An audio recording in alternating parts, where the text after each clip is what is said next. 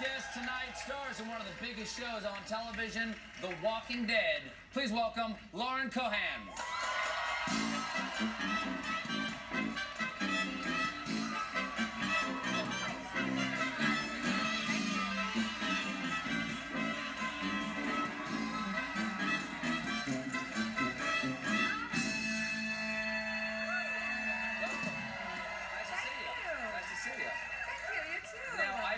Something shortly before the show uh, that you and I kind of have in common. Uh, is it your uncle? My uncle went to school with you. Yes, we went to Yes. college together at a small all-male college in Virginia called Hampden Sydney College. And he in said, Hampden Stephen- Virginia. That's how Hampden Sydney. small it is.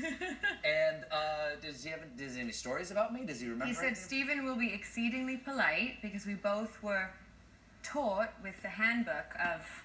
There is actually this is actually true. manners. We actually well, my producers found one of these at the college that your uncle and I went to. You are given a, a book of etiquette when you arrive, and it's all it's all again it's an all male college. Uh, the motto is where the men are men and the women are guests, and but it sounds better in Latin.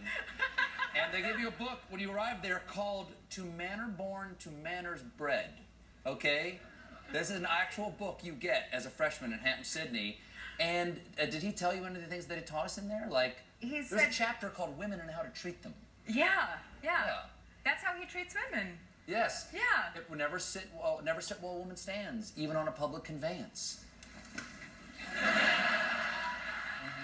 Just kidding. but you have all kinds of dress codes and. Oh my God! Yeah. Yes, it says in here. It says in here, avoid colored dinner jackets like the plague. Oh gosh.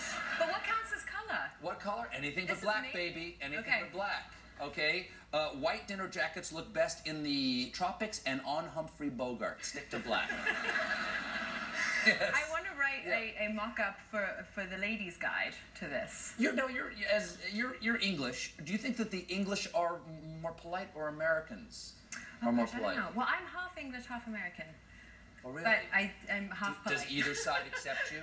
Yes, maybe Really? maybe both. Maybe